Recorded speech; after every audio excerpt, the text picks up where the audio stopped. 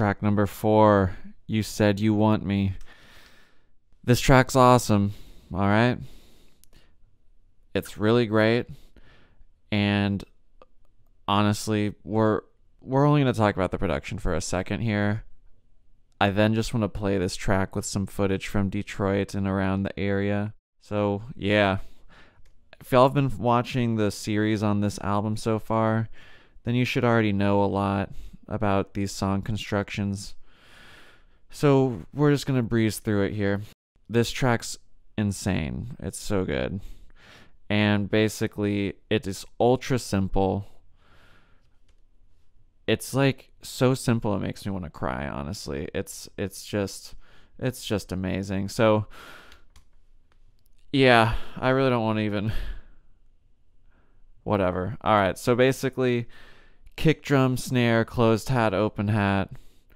You got this chord riff thing. You got the little melodies, which are like little solos. And you got the bass line. You got pads. You got vocal samples. And you got this little nudgy synth it's just going it's just like making these little sounds. And uh yeah that's it. Just using that they've just made this insane track. And cool thing you'll notice the melodies these little like mini solos they're all different from each other but then they all duplicate towards the end as well. And um yeah like normal as the track progresses you're going to have parts dropping out, parts dropping in. Almost done. We're almost done with the explanation. Then we're going to listen to the song. But just you can just have this in mind as you listen and watch the cool footage. So basically uh yeah, the melodies all happen, drops out. You, you hear the other stuff, they come back, then the track ends basically. Some stuff drop in and out. But it's basically just this insane loop that just repeats and is modulated. So have fun.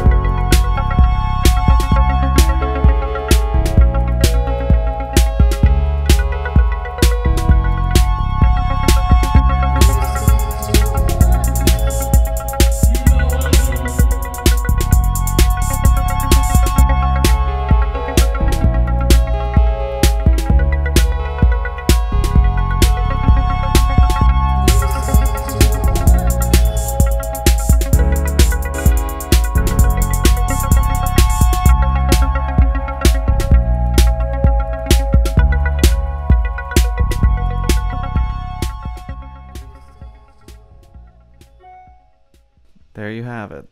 So, if you have any questions, just feel free to ask. Shoot me a message right in the comments. If you want to buy this track, buy this album, that's also in the description. Let's go ahead and check that out. It's really great. Um, it's on vinyl. You can get it on the Warp website. Link below. Highly recommend. You can follow me on Instagram at Alex Wilcox at response.response. That's all I got for y'all.